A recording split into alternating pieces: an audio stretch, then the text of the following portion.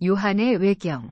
구세주의 교훈과 비밀과 침묵 속에 감추인 것들의 계신이 곧 이 일을 그의 제자 요한에게 가르치신 것이라. 어느 날 세베대의 아들 야고보의 형제 요한이 성전에 올라오니 아리마니우스라 하는 바리새인이 나아와 이르되 네가 따르던 내 선생이 어디 있느냐 하니 그가 그에게 이르되 그가 오던 곳으로 갔느니라.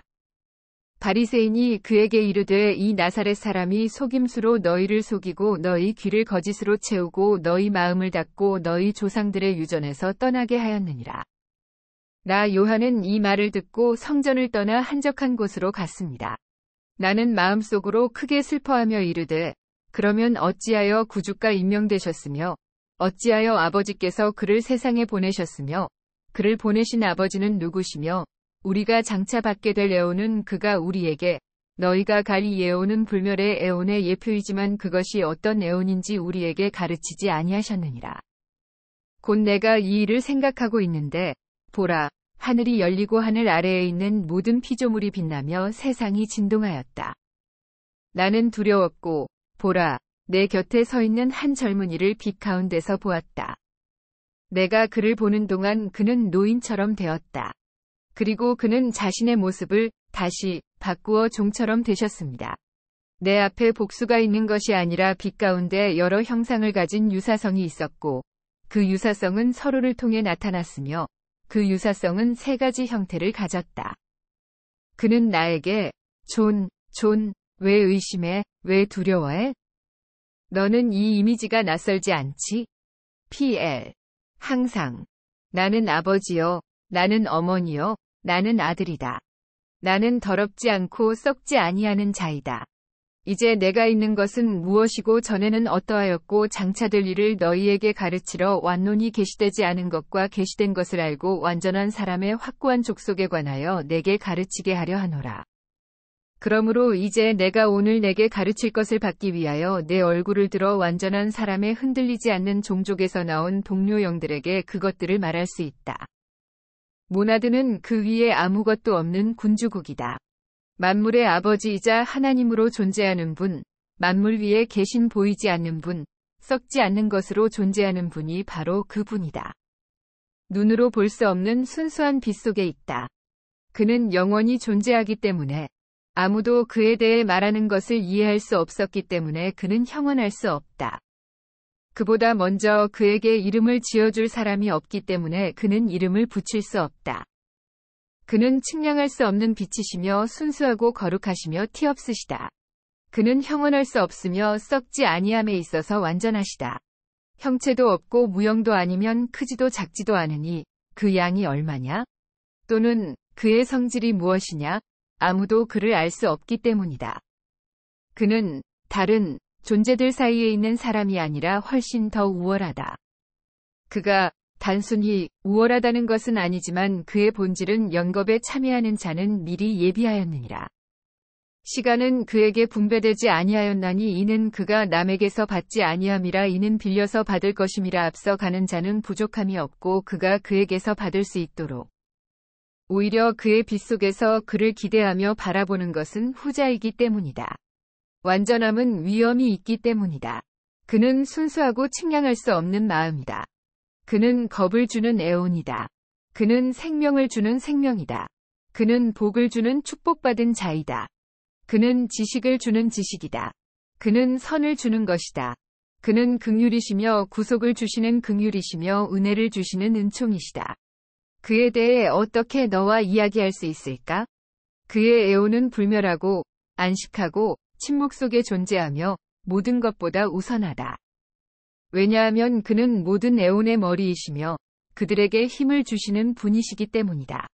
우리는 형언할 수 없는 것도 알지 못하고 측량할 수 없는 것도 깨닫지 못하노니 오직 아버지에게서 나오신 이신이 이 일을 우리에게만 말씀하신 이는 그시니라. 그는 그를 둘러싸고 있는 그의 빛, 즉 생명수의 샘에서 자신을 보는 자이며 모든 애온들에게 모든 면에서 주는 자이며 성령의 샘 그를 둘러싸고 있는 순수한 빛의 샘에 있는 물빛에 자신의 욕망을 두는 사람이다. 그의 생각이 이를 행함에 그녀가 나왔으니 곧 그의 빛의 광채로 그 앞에 나타난 그녀라. 그녀의 빛은 그분의 빛처럼 빛나며 완전한 능력은 보이지 않는 순결한 성령의 형상입니다. 처녀의 성령을 영화롭게 하였고 또 그를 찬송하니 이는 그를 힘입어 나왔습니다. 이것이 첫 생각이요. 그의 형상이요 그녀는 만물의 태가 되었나니 이는 그녀가 모든 것보다 먼저니라 어머니 아버지, 첫사람, 성령, 새 남자, 세 배의 능력, 삼중 이름을 가진 남녀 양성자, 보이지 않는 존재 중 영원한 애온, 가장 먼저 나오는 자이다. 그녀는 보이지 않는 순결한 영, 곧 바르벨로에게 그녀에게 예지를 주시기를 요청했다. 그리고 성령이 허락하셨다. 보이지 않는 순결한 영이 그와 그의 완전한 능력인 바르벨로를 영화롭게 하였으니 이는 그녀를 위하여 생겨난 것임이니라. 그리고 그녀는 다시 그녀에게 불멸성을 허락해 달라고 요청했고, 그가 허락했다.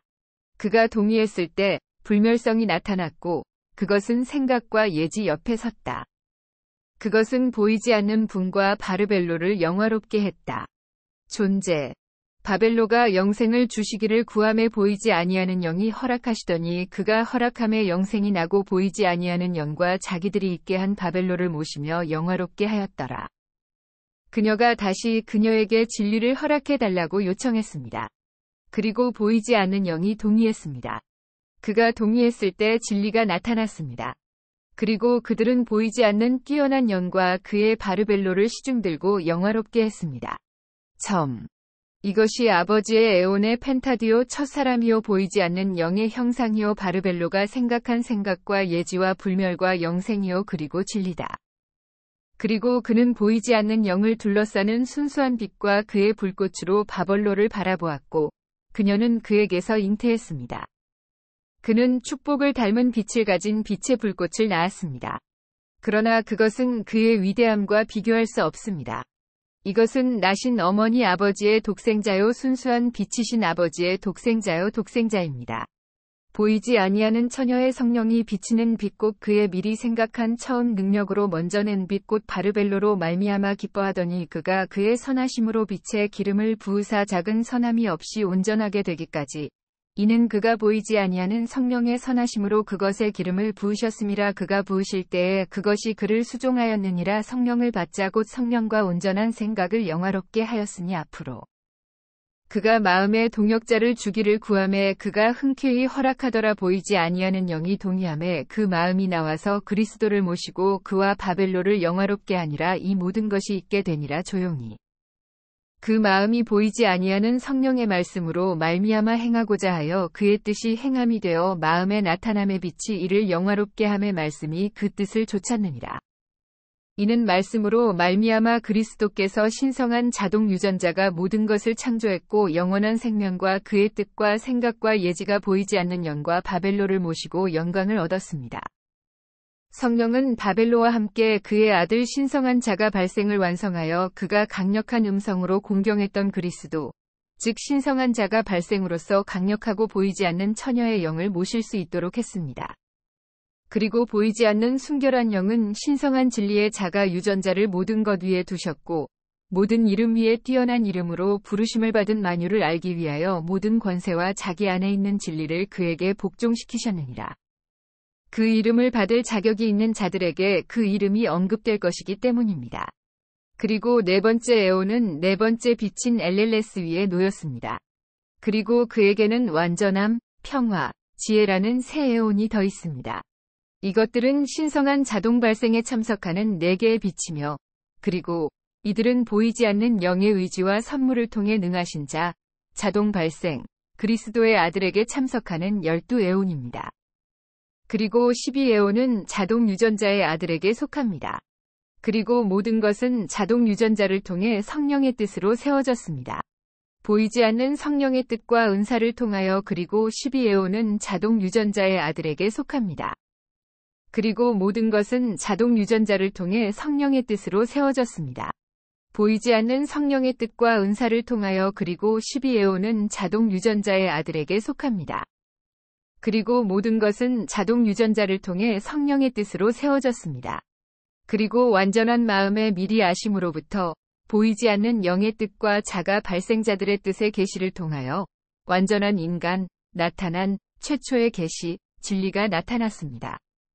영은 피게라 아다마스라 칭하고 그를 첫 번째 빛 아르모젤 옆에 있는 능한 자인 오토게네스 곧 그리스도와 함께 첫째 에온 위에 두었고 그의 권능이 그와 함께 있더라 보이지 아니하는 자가 그에게 영적이고 무적의 권능을 주었더라 또 보이지 아니하는 영을 말씀하시고 영화롭게 하시고 찬송하여 가라사대 만물이 주께로 났고 만물이 주께로 돌아오나이다 내가 주와 독립심과 에온들 삼신을 찬송하고 영화롭게 하리니. 어머니 아들 완전한 능력 그리고 그는 그의 아들 세트를 두 번째 빛 오리엘 위 면전에서 두 번째 에온 위에 두었습니다.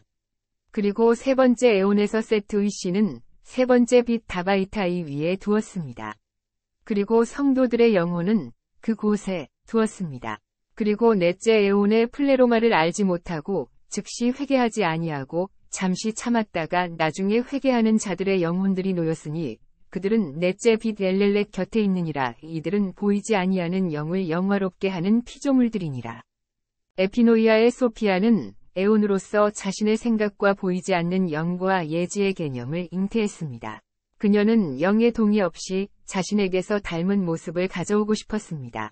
그는 승인하지 않았습니다. 비록 그녀의 남성이 승인하지 않았고 그녀가 그녀의 동의를 찾지 못했으며 그녀가 성령의 동의와 그녀의 동의에 대한 지식 없이 생각했지만 아직 그녀는 그리고 그녀 안에 있는 무적의 힘으로 인해 그녀의 생각은 게으르지 않았고 그녀가 그녀의 배우자 없이 그것을 창조했기 때문에 불완전하고 그녀의 외모와 다른 것이 그녀에게서 나왔습니다. 어머니의 모습, 그것은 다른 형태를 가지고 있기 때문입니다. 그리고 그녀가 그녀의 욕망, 위결과 을 보았을 때 그것은 사자 얼굴을 한 뱀의 형태로 변했습니다. 그리고 그것의 눈은 번쩍이는 번개불 같았습니다. 그녀는 그것을 그녀에게서 멀리 내쫓았습니다. 그녀가 그것을 알지 못하는 데서 창조하였기 때문에 불멸의 존재들이 그것을 볼 수 있게 하고 빛난 구름으로 그것을 둘러싸고 구름 가운데 보좌를 두어 어머니라고 하는 성령 외에는 아무도 그것을 볼 수 없게 했습니다. 산자의 이름을 얄다바우시라 하였더라. 그는 음부의 깊음 위에 있는 자이다. 또 일곱 왕을 하늘의 궁창에 따라 일곱 하늘 위에 세우고 다섯 왕을 시면의 깊음 위에 두어 다스리게 하셨더라. 그가 그의 불을 그들과 함께 나누었으나 그의 어머니에게서 빼앗은 빛의 권세에서 보내지 아니하였으니 이는 그가 무지한 어둠이니라.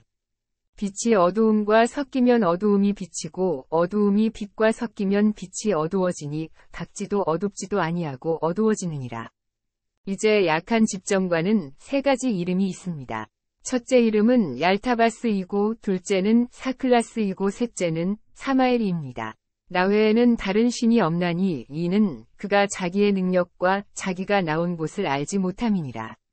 아르콘들이 자기들을 위하여 일곱 권세를 창조하였고 또 그 권세들이 자기들을 위하여 각각 여섯 천사를 창조하여 365명이 천사가 되었더라. 이들은 그 이름에 속한 몸이요 첫째는 아토스라 그는 양의 얼굴을 가졌고 둘째는 나귀의 얼굴을 한 엘로하이오요 셋째는 하이에나의 얼굴을 한 아스타파이오스요 넷째는 야우로 뱀의 얼굴이 일곱 머리를 가졌고 다섯째는 사바오트이니 용의 얼굴을 가졌고 여섯째는 아돈이니라 그는 원숭이의 얼굴을 가졌습니다. 일곱 번째는 사베데 그는 빛나는 불이 얼굴을 가지고 있습니다. 이것은 일주일의 일곱입니다. 야오. 다섯째는 왕국이며 다섯째는 사바우스입니다. 여섯 번째는 여섯 번째 아도네인에 대한 시기심입니다. 일곱째는 안식일과 함께 이해하는 것입니다. 그리고 이것들은 각 에온 천국에 상응하는 궁창을 가지고 있습니다. 권세를 멸하기 위하여 하늘에 속한 영광을 따라 이름을 받았더라. 그들의 창시자께서 그들에게 주신 이름에는 능력이 있었습니다. 그러나 하늘에 속한 영광에 따라 그들에게 주어진 이름들은 그들에게 멸망과 무력함을 의미합니다. 따라서 그들은 두 개의 이름을 가지고 있습니다.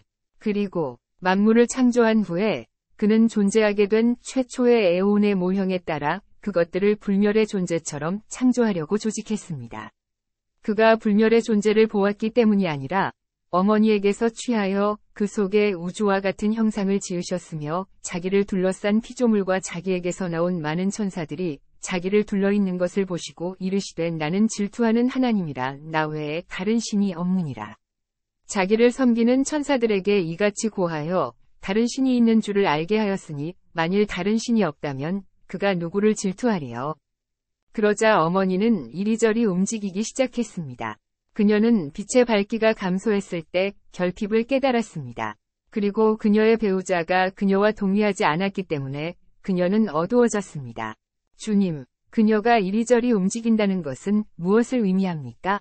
그러나 그는 미소를 지으며 말했습니다.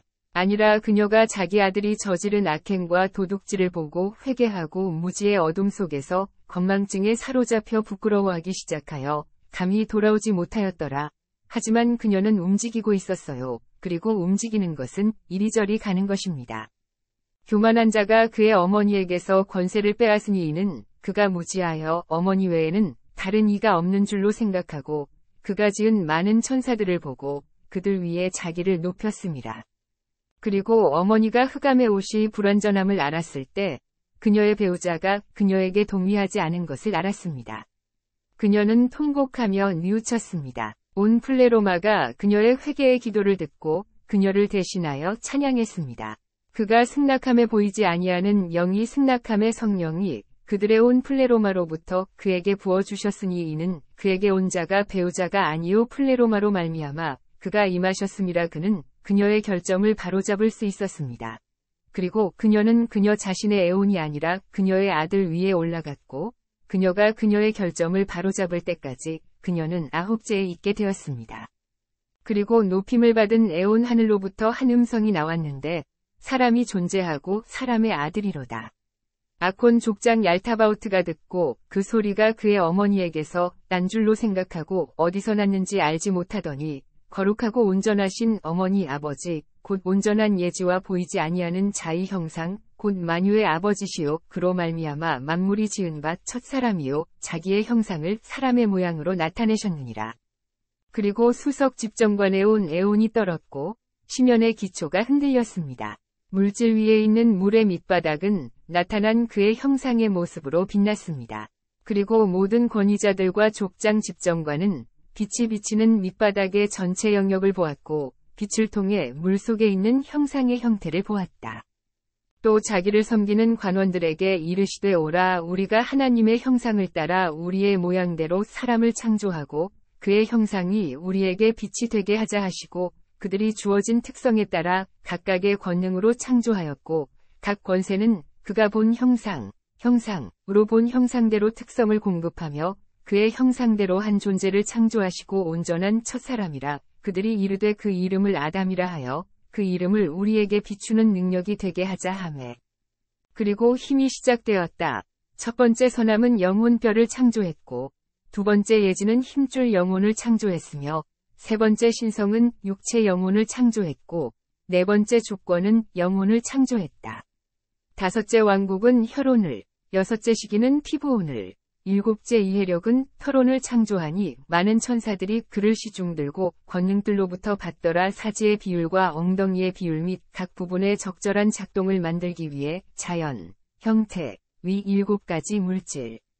오른쪽 어깨 관절, 왼쪽 어깨 관절인 아라림, 아래치, 배, 프헤이브, 배꼽, 세나핌, 복부, 아라체토키, 오른쪽 갈비뼈, 왼쪽 갈비뼈 자배도, 바리어스, 오른쪽 엉덩이, 왼쪽 엉덩이 파우스, 아베니나체이, 골수, 크노우메니노린, 뼈, 개솔, 위장, 아그로마우나, 심장, 반호, 폐, 소스트라팔, 간, 에인사이말라, 비장, 창자 토피트로, 비블로, 신장, 로어, 힘줄, 신체의 척추인 테프리오, 이포스포보바, 정맥, 빈보린, 동맥, 아토멘세파이. 그들의 것은 모든 팔다리에 있는 호흡입니다. 엔트홀레아. 모든 육체. 배독. 오른쪽 엉덩이. 왼쪽 페니스 아라비. 아일로. 고환. 소르마. 성기. 고르마 카이오클라바. 오른쪽 허벅지. 네브리스. 왼쪽 허벅지. 시편. 오른쪽 다리의 신장. 왼쪽 신장인 아사클라스. 오른쪽 다리 오마스. 에메넌.